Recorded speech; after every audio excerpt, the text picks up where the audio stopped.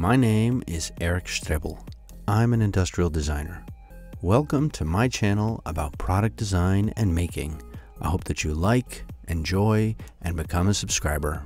Make sure that you hit that little bell next to the subscribe button too in case you haven't already done so. That way you'll be notified every time I have a new video. All right, the handle broke on my cheap Chinese drill press central machinery unit. It's time to make a new one.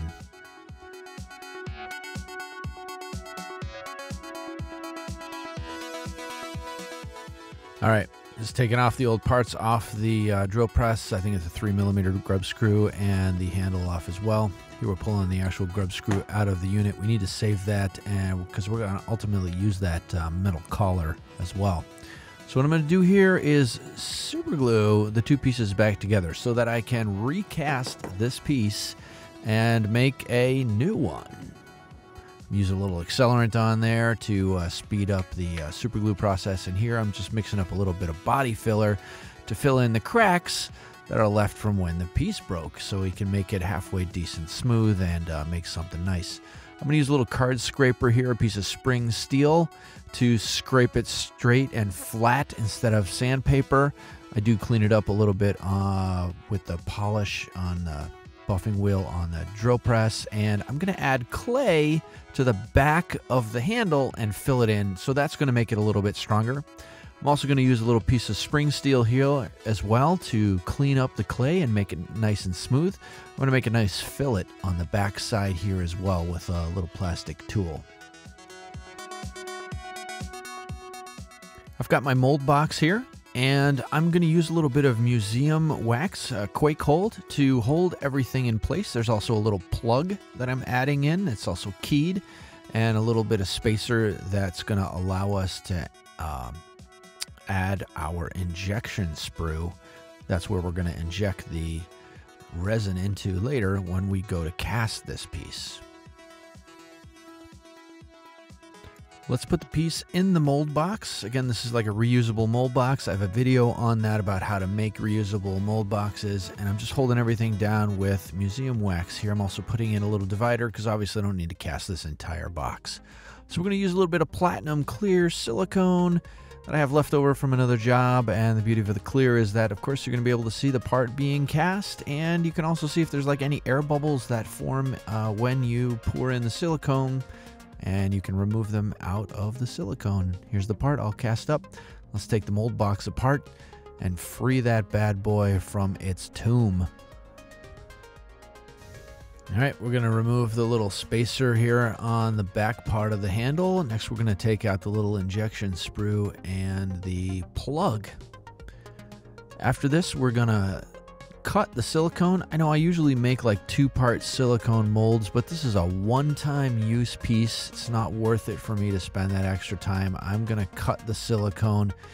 I know you'll see other videos where they will wave the silicone in, or cut the silicone in like a wavy pattern. I'm not to do that right here. So, like I said, it's a one time piece. I'm not making five. I am to pull out the uh, handle. Of course, it breaks where I super glued it and expect it to stay together. And I carefully remove the other piece that's left.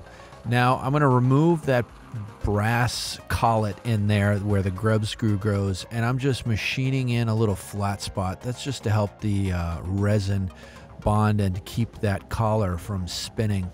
Put that collar back in in the right place where the uh, grub screw is going to go. Now we're going to mix up a little bit of resin to pour into this uh, mold that we just cast. All right, I'm going to make an orange handle, so I mix up a little bit of orange pigment, mostly yellow with a tiny bit of red in there to give me some nice orange. Here we're going to use a little bit of uh, urethane and uh, I'm just mixing up part A, part B, standard stuff, stuff that I have extra hanging out in the shop. And I'm going to take my colorant here and I'm going to tint it, uh, the resin up. So in goes that orange and we mix it up. Next we're going to put it in the vacuum tank here and we're going to degas the material real quick. So once the material has been uh, thoroughly degassed, I use a syringe and I pour it into the uh, inlet sprue right here on the silicone mold. It's sandwiched in between a couple pieces of glass so you guys can see the resin flow out into the rest of the handle. And once it levels off on the top, on the other side, pull the syringe out, and we just let the resin cure.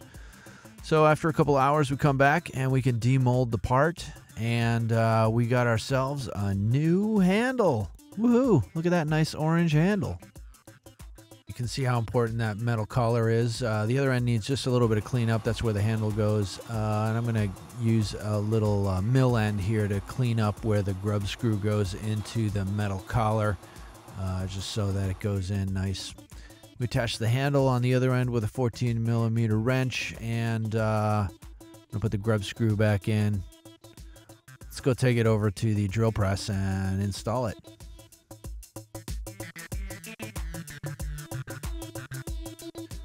Over here on the drill press, pretty straightforward. We use that three millimeter uh, Allen key to uh, tighten down that grub screw. Attach that securely onto the drill press, and boom, Things are working. I'm back in business. I can raise and lower my table again. Thanks for watching. Don't forget to subscribe to my YouTube channel. You can click on the little icon on the bottom right of the screen to do that. You can follow me on Twitter, Facebook, and Google. Rock on.